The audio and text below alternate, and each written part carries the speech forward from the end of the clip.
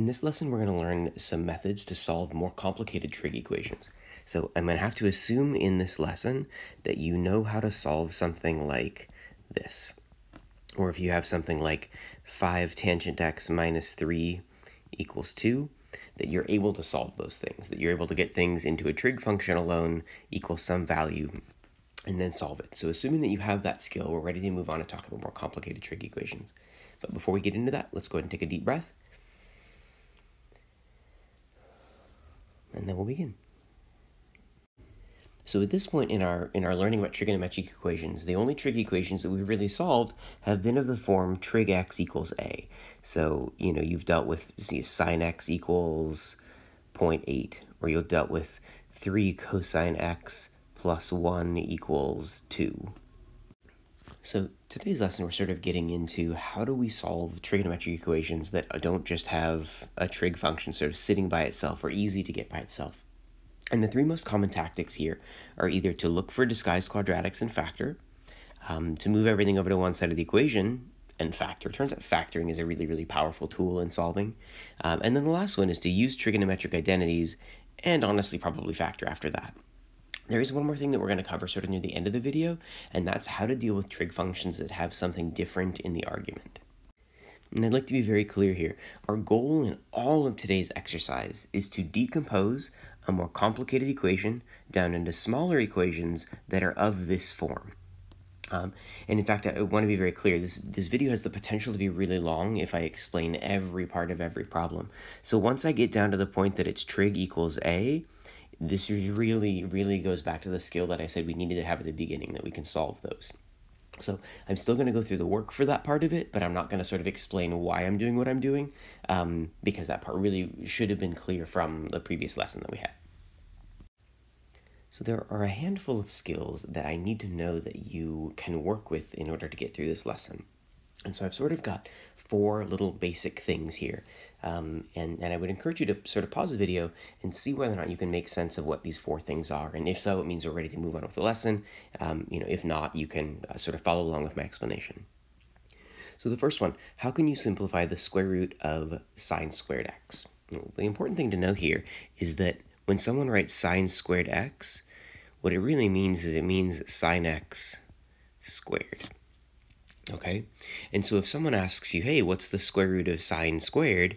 They're really saying, what's the square root of the sine of x squared? And we know that we can simplify this down to being the sine of x. I suppose if I was being really, really honest with you, it would actually be the absolute value of sine x. But talking about why that is is outside of the scope of this video. Um, and even if you don't have that, we're able to get through it. So we'll, we'll sort of talk about it when we get to that point. Um, if you're really curious about that, you can ask me about it and we, we can discuss it.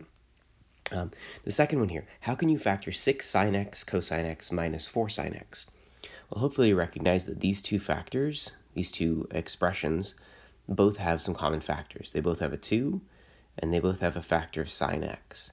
And if I were to factor those things out, I'd be left with 3 cosine x, and that second expression would only have 2 left in it. Okay? For the third one, how can you factor tangent squared x minus 4 tangent x plus 3? If this isn't something you can really clearly see, what you could do is you can let m be tangent x. And if we let m be tangent x, we can rewrite this expression as m squared minus 4m plus 3. Make that minus a little more clear. And then I think it's probably, I think it, it's Clear to say that this will factor as m minus 3, m minus 1. And then we remember that m was tangent x, which means that my original expression can be factored as tangent x minus 3 times tangent x minus 1. Okay? And then finally, is there any way that you could use trig identities, um, you know, identities that you guys know, like uh, tangent x equals sine x over cosine x and sine squared x plus cosine squared x equals 1. Is there any way that we could use those to simplify this last expression? Well, let's start small here. What if we just change the tangent x out for sine x over cosine x? This would be 3 sine x over cosine x times cosine x minus 2 sine squared x and the cosine x's would drop out, I'd be left with 3 sine x minus 2 sine squared x. And at that point, we could even sort of go back and, and think about what we did on the second or the third examples here. We could actually factor out a sine x and be left with 3 minus 2 sine x. So hopefully you sort of understood what these four pieces were. All four of these, or the, the principles that we used in simplifying them, are things that are going to come up in actual problems that we're going to work through later in the lesson. So here's our first example. Suppose you're asked to solve the equation cosine squared theta equals 4 ninths for theta on the interval between 0 and 360 degrees. Um, so, you know, we, we remember sort of from that, that basic skills thing that we went through that this thing means cosine theta squared, which means that I could square root both sides of this thing. And by square rooting both sides, the left side would become cosine theta, and the right side would become plus or minus 2 thirds. Okay, and I'd like to be really clear here. Like the, the, the, the, new lesson part of today's lesson is really that right there to say, hey, I've got this thing. I don't really know how to deal with that squared, but if I could get rid of that squared, I'd have trig function equals number, which means I can solve it the exact same way we learned in the previous lesson. So now that I'm here, I'm going to solve this thing the same way that I did before. Um, I suppose the one the one sort of exception I would note is this cosine theta is equal to two different values. So the first thing that I'm going to do is I'm going to sort of recognize, hey, I have cosine theta equals negative 2 thirds, but I also have cosine theta equals positive 2 thirds. Okay, and I'm going to try and use sort of two different colors here just so that we, we recognize that these are two different things that we're solving. So this is the thing that I said that I'm not going to do a big explanation of the rest of it. I'm just going to kind of go through what this would look like. Um, I might explain a little bit more of this one, but on the later ones, I'm, I'm really just going to kind of go through it. So if I needed to solve this thing, I would do the inverse cosine. So I would do inverse cosine of negative 2 thirds. Remembering to have my calculator in degree mode, I found that my first theta value that I got out of this thing was 131 at 8, so I guess 132 degrees. Okay, and then remembering from our lesson about uh, you know solving these trig functions, as soon as I get this primary solution, I immediately should think about what the secondary solution is. In the case of cosine, it's the negative of the same thing that I just got. Okay, as I go back and check, this solution is on the interval, so that one's good to go. This other one is not on that interval, so I'm going to do the same thing that I did before, where I find other solutions by adding or subtracting the period length. So I'll do negative 132 degrees plus 360 degrees, because that's the period length of cosine. When I do this, I find that my other solution is, let's see here, 228 degrees, which again is on the interval. Now remember, uh, in theory, I could add and subtract 2 pi to each of these to find more solutions, but given, I'm sorry, not 2 pi, but 360, but given that this interval only goes from 0 to 360, I'm confident that I found the only two solutions here. Now that I finished that one, I need to go over and work out this other one, right? Because this problem is effectively two separate problems. So same deal, I'm going to do the inverse cosine of now positive 2 thirds, when I do that, my first solution, which I suppose I'm going to call theta 4 because I've already sort of exhausted a few of the other ideas over here. The first solution that I got was 48.2 degrees, which again I notice is on the interval, so this one works. My other one I would get by taking the negative of that. But again, I, you know, I notice that I'm that I'm in the wrong place, so I'm going to add 360 degrees to that to make it on the interval. And when I do that, I get 312 degrees, which I notice is on the interval. Those are my four solutions.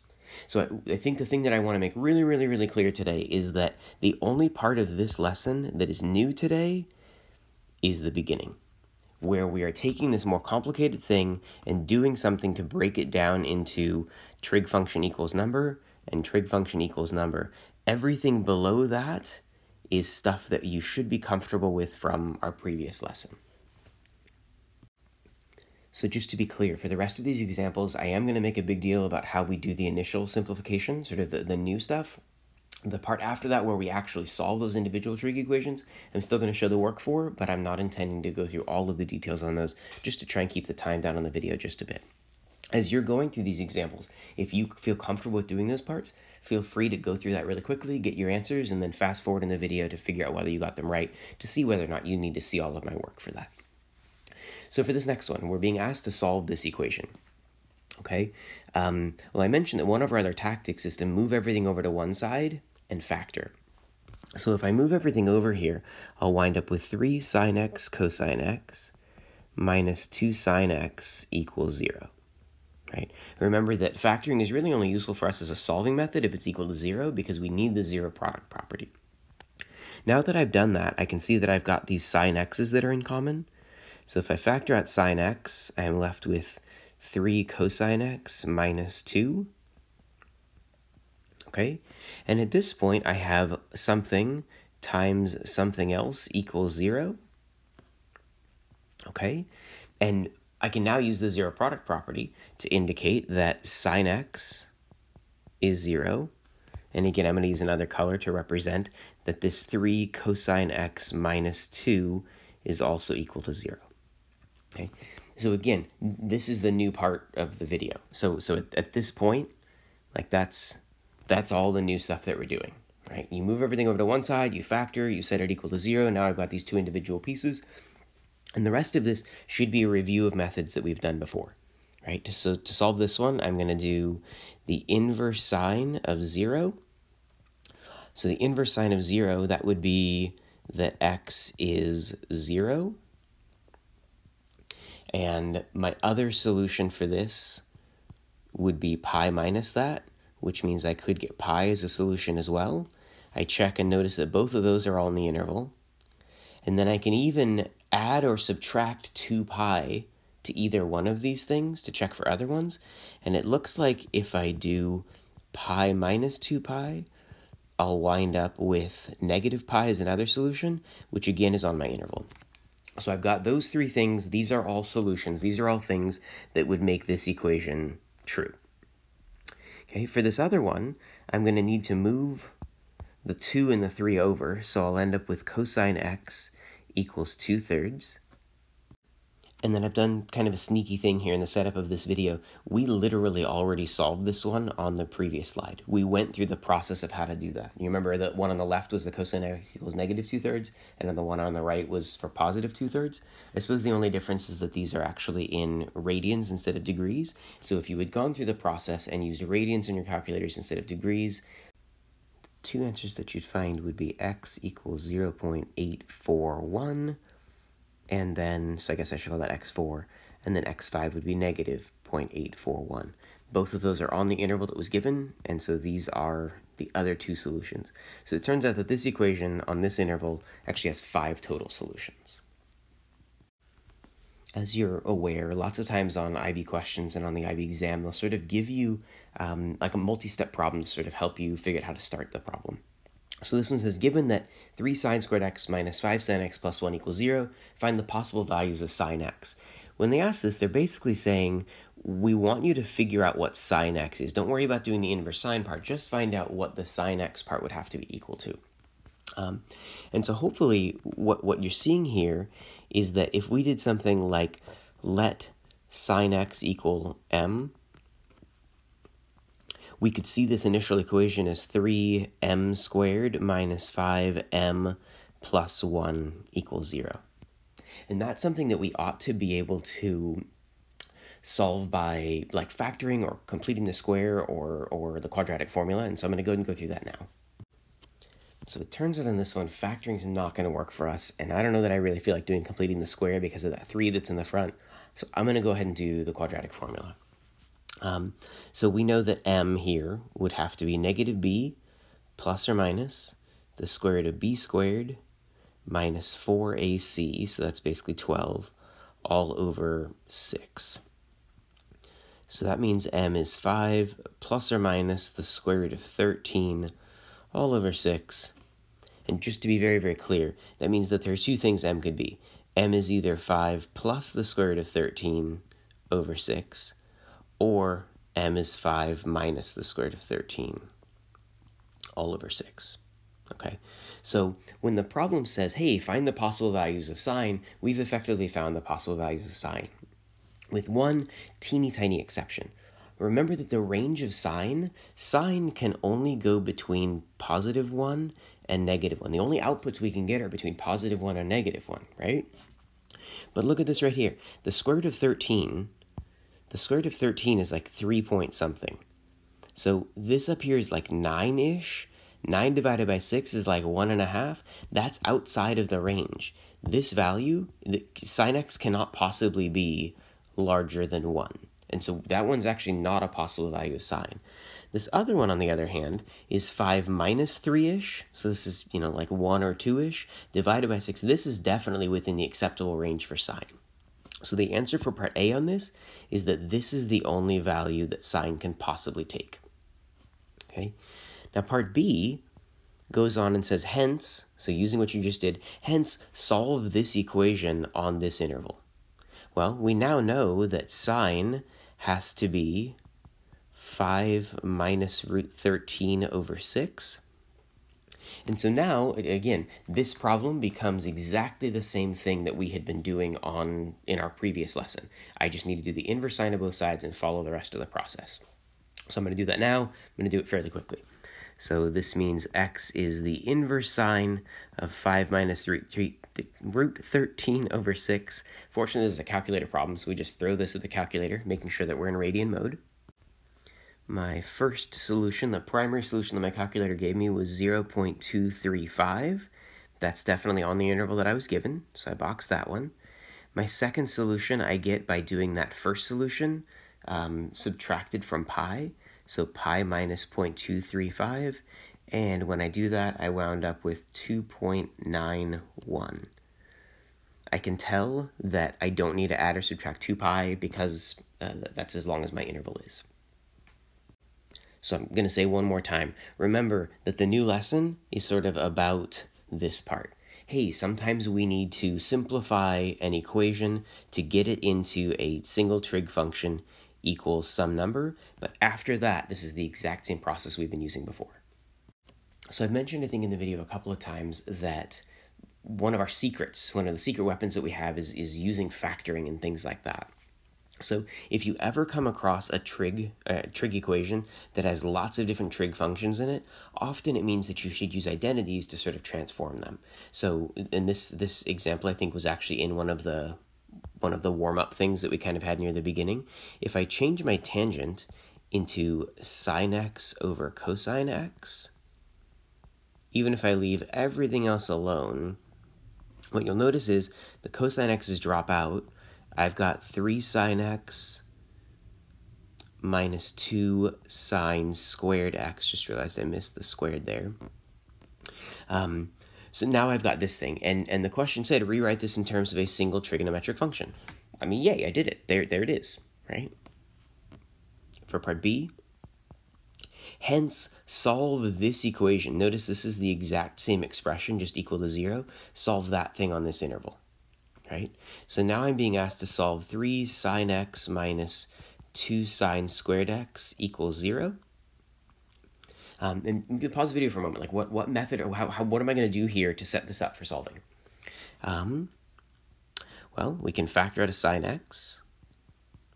And when I factor out that sine x, what I have left is 3 minus 2 sine x equals 0. And then using the zero product property, I'm going to have sine x equals 0, and I'm going to have 3 minus 2 sine x equals 0. Okay, this one on the right, it looks like I need to do a little bit of work with. I'm going to need to move the 3 over and divide the 2. Here I get sine x equals 3 halves. And now I have my two individual trig equations. This, remember, this, this again is, like, this is where the new lesson ends. I've gotten this thing broken down. Now I just follow the same process I did on, on any of my previous, previous work. The blue equation over here is actually really great news. Remember that sine and cosine both can only be between negative 1 and positive 1, which means this value is too large. So this one is going to have no solutions. And I realized in that example that I did previously, I really should have provided a reason for that. Um, so I, I, apologize that I didn't do that. This has no solutions um, because, uh, you know, negative 1 has to be less than or equal to sine x, less than, basically sine has to be between negative 1 and positive 1. Okay, so that's going to give us no solutions. For this one that's over here on the left, um, we actually had this exact one before, and the solutions that we got were negative pi, 0, and pi. So if you need to see how to do that one, you can bounce back and take a look at it. So this is now sort of going to be the last little segment of the video. I mentioned at the beginning of the video, in fact, we typed a little thing in about sometimes the argument, the thing inside of the trig function is not just x, and we need a method for dealing with that. Because I've heard me use this word a lot, but just to be clear, the definition of the word argument as it applies to functions is that the argument of a function is basically the expression that is um, composed into the function or plugged into. So plugged in or composed into the function. For example, the argument of the function f of 2x minus 1 is 2x minus 1.